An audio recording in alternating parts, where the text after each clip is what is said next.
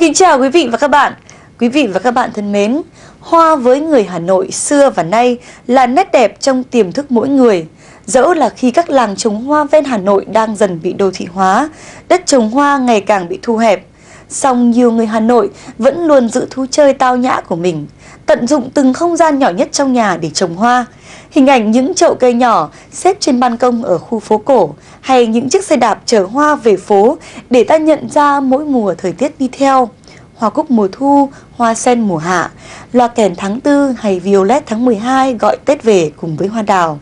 Và từ khi Hà Nội mở rộng, đã có thêm nhiều công trình hiện đại, nhiều ngôi nhà cao tầng và những con đường mới. Nhưng ở những khu dân cư mới ấy, hoa và cây vẫn chưa đi theo kịp tốc độ phát triển của khô khan, xi măng cốt thép. Hy vọng trong thời gian không xa, những ban công, những thềm nhà sẽ có thêm nhiều hoa hơn nữa để Hà Nội thêm đẹp hơn. Và đây cũng chính là chủ đề chính trong chuyên mục tạp chí du lịch kỳ này. Mời quý vị và các bạn cùng theo dõi.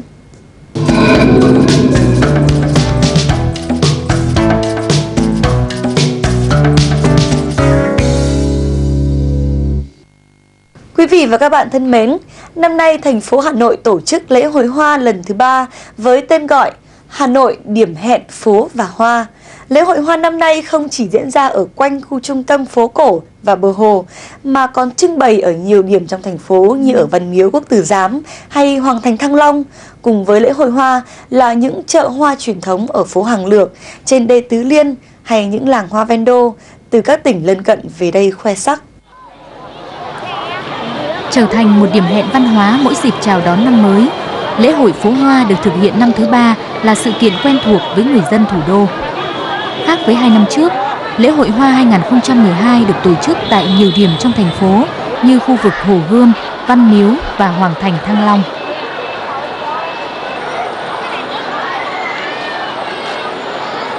Khu trưng bày chính vẫn là quanh khu vực Hồ Gươm với trọng điểm chính là đường Đinh Tiên Hoàng, vườn hoa Lý Thái Tổ gồm 4 đại cảnh lớn với không gian di sản, không gian Bắc Bộ, không gian huyền thoại và không gian triển lãm.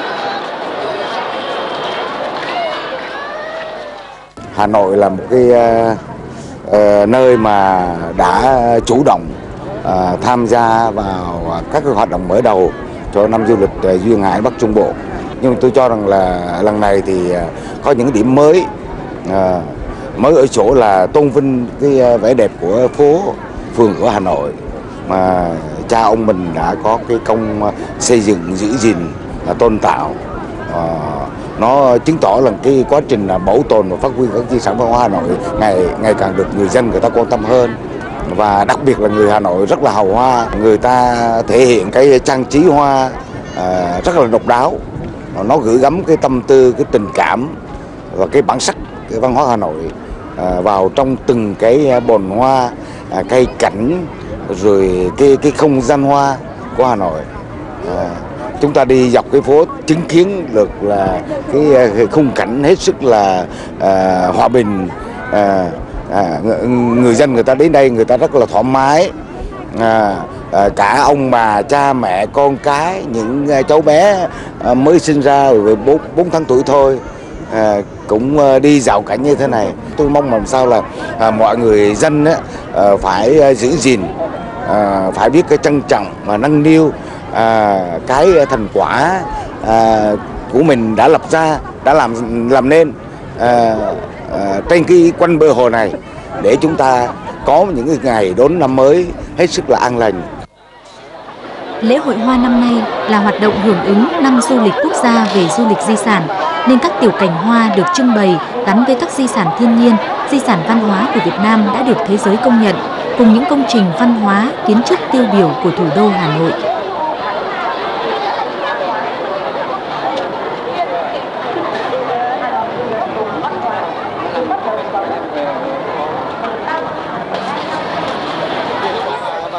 những cái tay mà nó không ý thức nó bẻ hoa bẻ cành như thế là giảm đi nhiều đúng không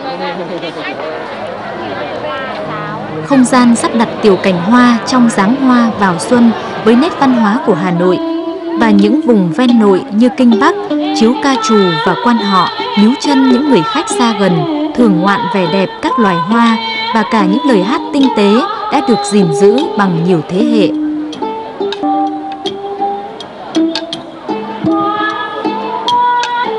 Cũng trong không gian của lễ hội hoa năm 2012, để quảng bá và phát triển cho du lịch, có hội trợ du lịch với các gian trưng bày sản phẩm du lịch của các khách sạn, công ty lữ hành, dịch vụ du lịch tại Hà Nội.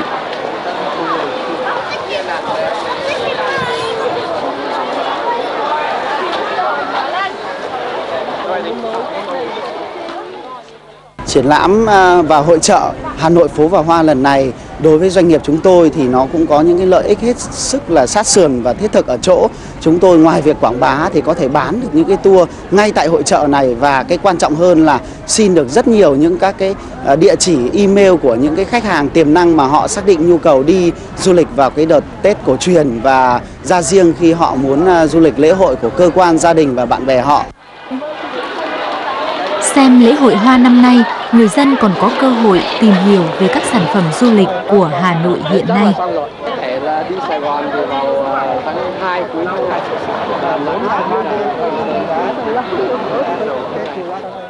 Đi ờ, tham quan thế này là tôi cũng ờ, tham quan vấn đề du lịch. Nó thật là đầu xuân chúng tôi cũng muốn đi du lịch. Mà có những cái ờ, quảng cáo như thế này chúng tôi biết để mà chọn cái tour du lịch cho nó hợp với mình để mà là du xuân tốt quá. Tôi với ông này năm nào cũng rủ nhau đi và có lẽ là cái năm ngoái làm cái năm ấn tượng. Đúng là một cái mà cũng là ngỡ ngàng vì có một cái triển lãm hoa nó lớn đến như thế. Năm nay đó thì nó cũng có những các cái thu gọn hơn và đặc biệt đấy là cái trật tự hơn. À, chứ mà như mọi năm thì chen lấn xô bồ xô đẩy và nó mấy ngày đầu thì không còn là một cái vườn hoa nữa. Năm nay thì có thể nói là nên nên duy trì Tết nào đối với cái truyền thống của người Hà Nội. Hoa và Tết nó gắn liền với nhau. Chúng tôi là những người già, còn sống được ngày nào thì có thể nói là rất vui mừng được uh, thành phố tổ chức những các cái dịp như thế này. Mọi người luôn hào hứng với lễ hội hoa, nhưng những tiểu cảnh trưng bày hoa năm nay đã bị chê là sơ sài và đơn điệu nhất từ trước tới giờ, và tình trạng phá hoa vẫn còn rất phổ biến. Lẽ nào người Hà Nội hôm nay lại ứng xử không văn hóa như thế? Người muốn mang hoa về trồng thử, người muốn cầm chơi, không kể đến phép tắc tối thiểu là không được xâm phạm những gì của chung. Điều này đã làm tổn thương đến biểu tượng văn hóa của người Tràng An thanh lịch.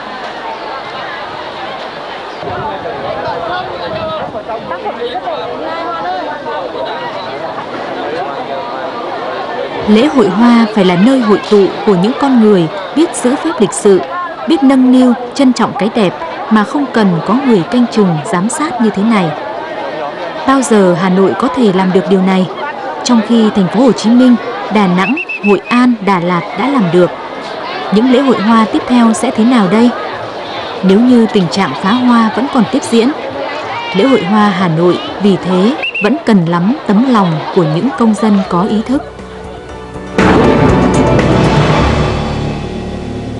Quý vị và các bạn thân mến, phố cổ hôm nay dẫu có ồn ào và đông đúc nhưng vẫn ẩn chứa những nét duyên rất riêng. Có những gia đình còn giữ nếp sống của người Hà Nội cũ qua nhiều thế hệ với những công thức nấu ăn gia truyền, những món ăn ngon chỉ có ở 36 phố phường. Và đây chính là điều hấp dẫn những du khách tới từ phương xa. Nhiều tour du lịch đưa du khách đi thăm phố cổ, thử ẩm thực quanh chợ Đồng Xuân và khám phá những con phố có tên chữ bắt đầu bằng chữ hàng là điều vô cùng thú vị, đã và đang làm phong phú thêm những sản phẩm du lịch tại phố cổ Hà Nội hôm nay.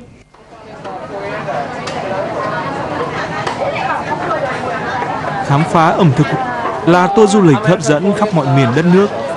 Tour ẩm thực sẽ bắt đầu bằng chuyến đi chợ với câu chuyện về các loại rau vườn nhiệt đới nhiều hương vị we cannot eat it. We never eat it. Okay, so... Du khách chắc hẳn sẽ thấy thích thú với thói quen của người Việt, đó là đi chợ, mua đồ tươi hàng ngày.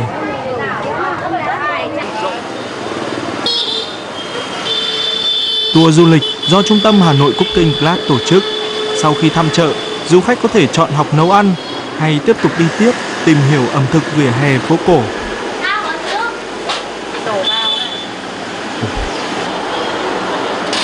Rời chợ Châu Long muôn sắc màu rau xanh, điểm tiếp theo là hàng bánh cuốn trên phố Hàng Gà. Đây là hàng bánh cuốn gia truyền nhiều đời của một gia đình sống ở phố cổ Hà Nội.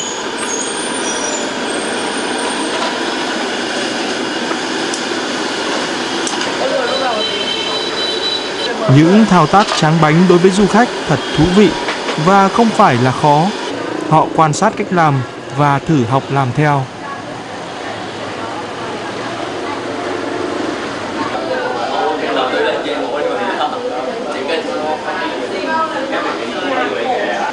Bánh cuốn là một trong những món quà ngon ở ngay vỉa hè của Hà Nội và cũng đã được đưa vào thực đơn nhà hàng khách sạn sang trọng phục vụ cho du khách. Nhưng lý thú vẫn là ăn bánh cuốn ở khu vực phố cổ. Người ta ăn bánh cuốn vào bữa sáng hay vào lúc quá trưa sang chiều như một thứ lót dạ, nhưng ăn thay cơm cũng vẫn vừa no và ngon. Bánh ngon phải tinh tế ở độ mướt mịn của bột gạo tẻ, ở cách pha nước mắm ngon, đặc biệt là phải có vị cà cuống. Không ai còn nhớ người ta tìm ra cà cuống để thêm vị ngon cho bánh cuốn từ lúc nào, nhưng có lẽ phải từ hàng trăm năm trước.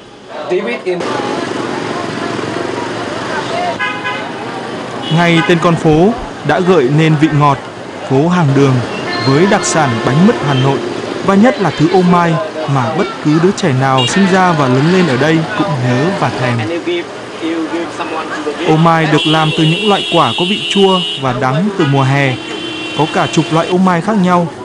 Từ một thứ quả đã được phơi tái hoặc phơi khô nào trộn với đường và thêm vị gừng thơm cay.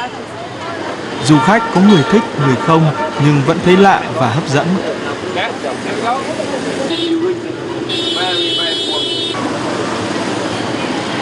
Hà Nội không khuyến khích hàng rong, nhưng quả thật hàng rong trên những con phố nhỏ lại tạo ấn tượng với du khách, nhất là những gánh cốm vào mùa thu gợi bao nét nhân văn của đời sống.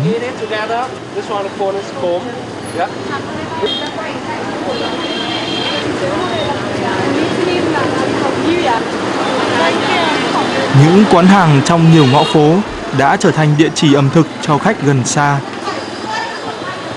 Người Hà Nội thì cứ xa là nhớ về những ngõ phố với những món ngon theo mùa. Biết bao hàng quán với công thức nấu ăn là bí kíp gia truyền.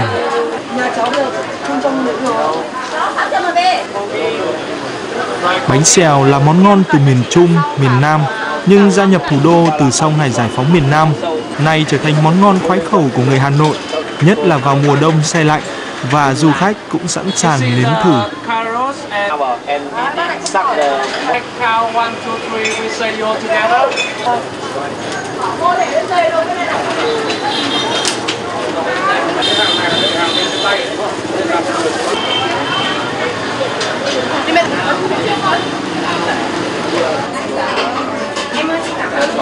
Người Hà Nội cũng ngạc nhiên khi thấy hàng đoàn du khách nước ngoài từ Nhật tới châu Mỹ vào ăn bún ốc say xưa.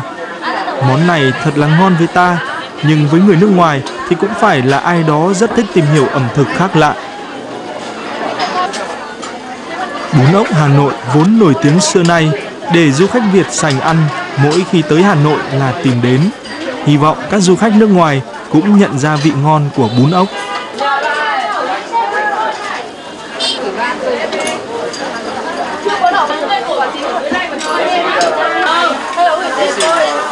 Món ăn ngọt vốn có hàng chục loại từ xưa, nhất là sau này thêm một số chè Huế, chè Nam được nấu từ các loại đỗ, lạc nhập vào danh sách chè ngọt của đất Hà Thành. Du khách sẽ được giới thiệu về chè hạt sen, chè long nhãn, những đặc sản đặc biệt có lẽ đã thành món ngon từ thủa Thăng Long đến Hà Nội hôm nay. Hạt sen và long nhãn trong vị thanh tao hương bưởi, bột sắn dây thì quả thật không ai có thể làm khéo bằng phụ nữ Hà Nội. Tour du lịch qua những hàng quán vỉa hè với món ngon nhớ lâu của 36 phố phường Hà Nội cho du khách nhiều ấn tượng bởi sau những dư vị còn là câu chuyện phố phường và những mùa hoa đi qua để hương thơm ở lại. Hà Nội còn có những góc nhỏ yên bình, cà phê quán bên đường cho người ta nỗi nhớ thiết tha mỗi khi xa thành phố này. Một chỗ ngồi lắng lại sau những tấp nập phố xá là nơi lùi lại một khoảng để được sống chậm, cảm nhận thời gian trôi.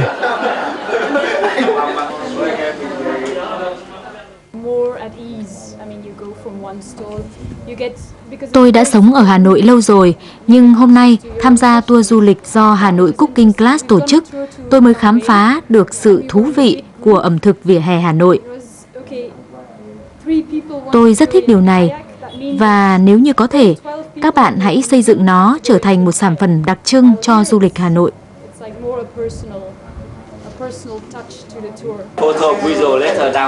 Tour du lịch dạo quanh phố cổ, tìm hiểu ẩm thực là sản phẩm du lịch mới, vẫn còn đang được hoàn thiện.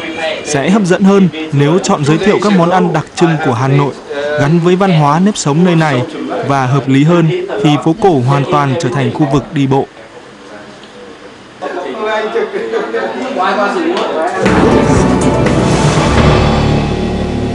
Thưa quý vị và các bạn, thủ đô Hà Nội mở rộng, tốc độ phát triển xây dựng quá nhanh, song việc thực hiện quy hoạch cây xanh vườn hoa chưa được chú trọng, nên những khu dân cư mới với những ngôi nhà cao tầng và hàng ngàn ô cửa sổ trông rất khô khan và nhiều người Hà Nội hôm nay để tâm tới cây và hoa, thiết kế những khung chậu để trồng hoa ở cửa sổ, ở ban công hay ở thềm nhà để khung cảnh quanh ta thêm mềm mại đáng yêu, giảm thiểu sức nóng môi trường trái đất, để Hà Nội dịu dàng hơn với màu xanh của lá và sự rực rỡ của hoa.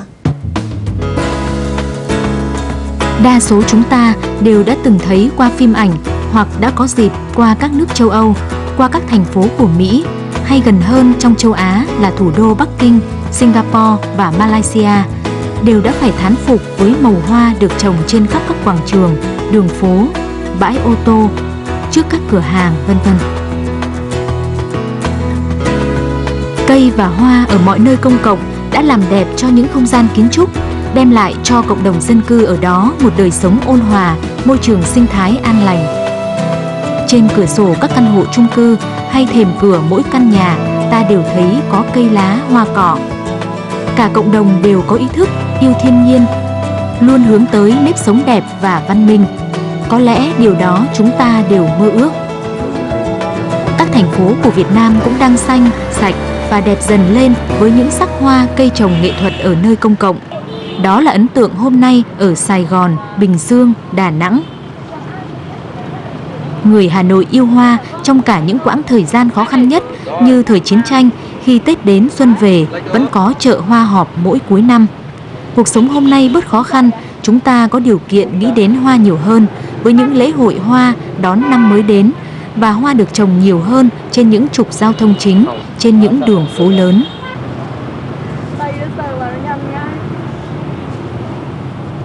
Chết tôi rồi.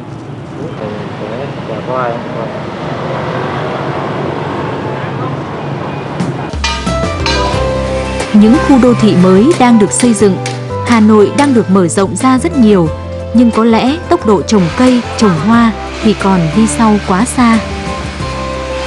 Giữa những khung cảnh khô khan, màu sắc xám xi măng, bê tông cốt thép, đã bắt đầu những con đường hoa trồng, những ban công có hoa, những khuôn cửa, mảnh sân nhà, phố nhỏ mà đã vui mắt với những bồn hoa trang trí. Những hàng rào bắt đầu có dây leo cuốn,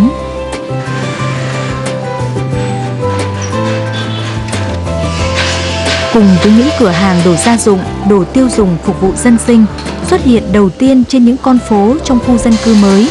Đã có ngay cả cửa hàng hoa với đủ mẫu chậu trưng bày cao thấp, đặt hay treo linh động trên những cánh cổng, hàng rào. Có cầu thì mới có cung. Ta nhận ra cuộc sống đã tiến thêm một bước khi con người đã dành chỗ cho hoa, có nhu cầu đi mua hoa chậu để bày ở trong nhà, căn hộ hay không gian văn phòng. Lâu nay, hoa được đưa về Hà Nội từ những vườn ươm Sa Đéc Đồng Tháp, Đà Lạt hay Sapa rất đa dạng. Khi đời sống tinh thần thẩm mỹ được nâng cao, các loại hoa và cách trồng, cách bố cục cây xanh cùng với chậu hoa trong không gian nhà cũng đầy sáng tạo, đáp ứng mọi nhu cầu thưởng ngoạn. Từ loại hoa trồng chậu trong nhà đã có những nghiên cứu khoa học cũng như dự án hướng tới việc cải thiện môi trường sống đô thị như Đồng Xanh Việt với mong muốn góp phần làm phong phú thêm đời sống, mở rộng không gian sống bằng màu hoa sắc lá cả bốn mùa. Đây là một showroom rất là nhỏ ở trong khu đô thị mới Văn Khê có một số những cái loại cây hoa rất là thích hợp với lại à, những cái nhà chung cư nó nó có một cái ờ, rất là tiện đó là cái những cái cây ở đây thì có thể là trồng ở ngoài ban công à, cũng có thể trồng trong nhà. Đa số những loại cây ở đây thì đa số là đều là những cái cây mà à, rất thích hợp với lại à, cái à, môi trường ít nắng à, không phải chăm sóc nhiều. Và nó có một cái rất là tiện đó là À, cây thì có thể để ở ngoài ban công vì những cái chậu nó rất là năng động cái chậu có thể làm bằng à, có thể những cái chậu bằng làm bằng sứ, nhưng có đa số là những cái chậu làm bằng nhựa, thì chúng ta có thể vận chuyển rất là nhẹ nhàng vì nó nhẹ hơn chậu à, sứ này. Và nó có cái thích nghi đó là chúng ta có thể đặt ở trên bàn, đặt ở ngoài ban công, thậm chí đặt cả trên lan can.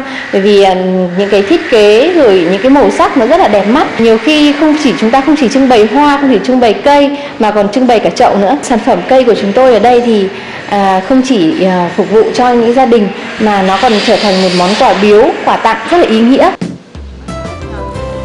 Hiện nay, trồng hoa chậu là một ngành phát triển với công nghệ sinh học, cấy mô hay ươm mầm.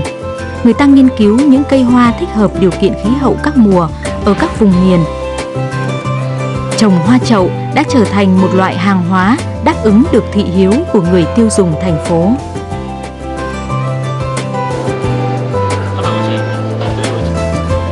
Những cửa hàng bán hoa và quà du lịch được thiết kế bằng gỗ đầy thẩm mỹ với những ô cửa sổ treo hoa rất lãng mạn là ý tưởng của Đồng Xanh Việt sẽ được nhân ra trong khu đô thị mới đặt ở nhiều góc phố nay mai để thành phố đẹp hơn.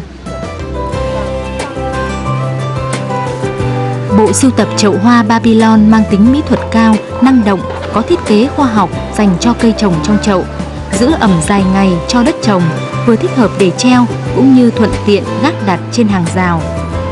Những màu sắc của chậu góp thêm với hoa lá làm sinh động bức tranh phong cảnh thành phố, từng góc không gian ngoại cảnh cũng như nội thất từng ngôi nhà.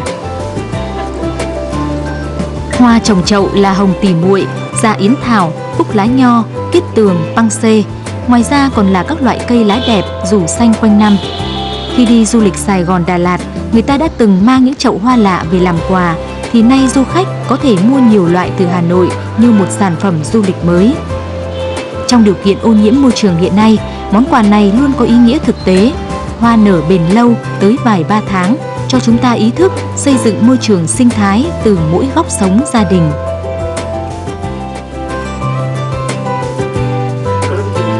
Nhiều khu dân cư mới đã có những góc đẹp như ở châu Âu, những góc phố, con đường, ngoài cửa hàng đã có những lối cỏ thềm hoa. Cái đẹp cũng giúp mỗi con người có ý thức hơn, không ngắt cành bẻ lá, thói quen trân trọng yêu ái với hoa. Ngược lại, hoa mang đến cho tâm hồn con người tinh thần lạc quan yêu đời. Ước mơ của những người làm hoa cho đô thị, nhất là đối với những chung cư cao tầng, là mỗi ban công thành một vườn hoa nhỏ và đẹp, kể cả là rau xanh hay rau thơm gia vị. Món quà sinh nhật là chậu hoa nhỏ trên bàn học của các cô gái tuổi tin hay quà tặng ngày tân gia nhà cho gia đình cũng là chậu hoa nở rất lâu, là những hình ảnh ta thường thấy trong đời sống đô thị hôm nay. Khắc phục những thiếu thốn sân vườn, nơi đất chật người đông, mang lại ấm cúng cho người thành phố. Hà Nội, thành phố vì hòa bình, thành phố du lịch, thành phố xanh, cuộc sống đổi thay, đất chật người đông cũng là quy luật tất yếu của xã hội phát triển. Điều cần thiết với cả khu dân cư mới hay cũ cũng đều phụ thuộc vào chính con người, có ý thức hướng tới những không gian sống đẹp. Đồng xanh Việt giúp chúng ta bắt đầu bằng hoa hay tiểu cảnh xanh cho mỗi căn nhà. Nhưng quan trọng hơn cả là chính chúng ta muốn điều đó. Để mỗi lần du khách đến Hà Nội lại có những ấn tượng với cỏ hoa miền nhiệt đới ở bất kỳ góc nhỏ nào đó của thành phố.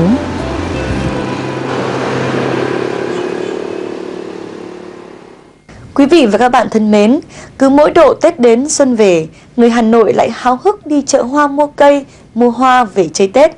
Và khi mật độ xây dựng ngày càng tăng, những khoảng không gian dành cho cây và hoa dần bị thu hẹp, thì mỗi người chúng ta cần có ý thức hơn, nâng niu và trân trọng hơn với cây và hoa.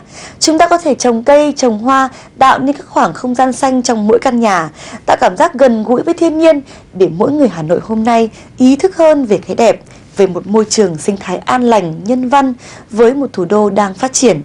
Chuyên mục tạp chí du lịch kỳ này xin khép lại tại đây. Xin chào và hẹn gặp lại quý vị và các bạn trong những chương trình lần sau.